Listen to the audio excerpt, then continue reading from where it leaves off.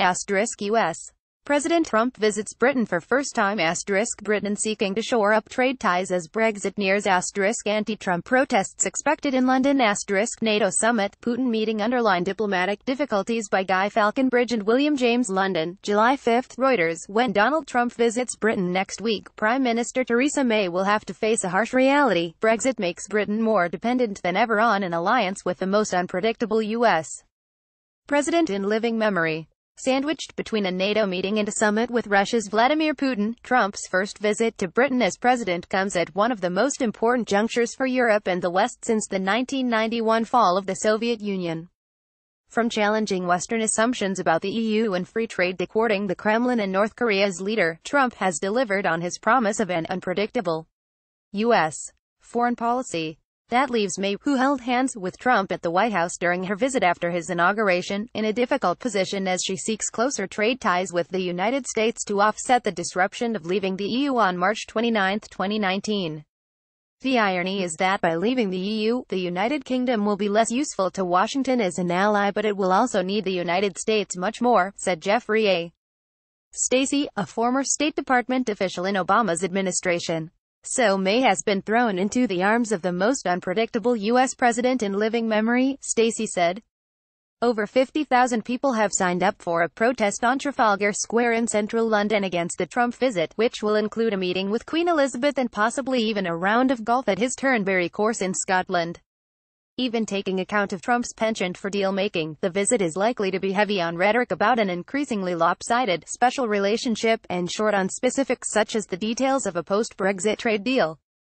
For supporters, Trump and Brexit offer the prospect of breaking free from what they see as obsolete institutions and rules that have weakened the United States and its allies relative to competitors such as China. But for many British diplomats, Brexit marks the collapse of a 70-year British strategy of trying to balance European integration with a U.S. alliance based on blood, trade and intelligence sharing. May's rushed diplomacy with Trump has been foolish but has she actually got out of the relationship so far, said one senior European diplomat in London, who spoke on condition of anonymity. You Brits are leaving Europe but do you really want to jump into the arms of Donald Trump's America? And more importantly, do you have a choice? The diplomat asked. Holding hands Trump's victory in the 2016 presidential election shocked British diplomats in Washington and relations between May, a vicar's daughter, and Trump have been strained at times.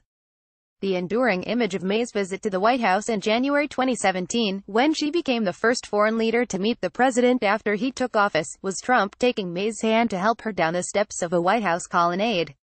But any good vibrations from that moment soon dissipated when Trump, the same day, announced plans to ban migrants from seven Muslim-majority countries, a decision that drew fierce international criticism and appeared to blindside May.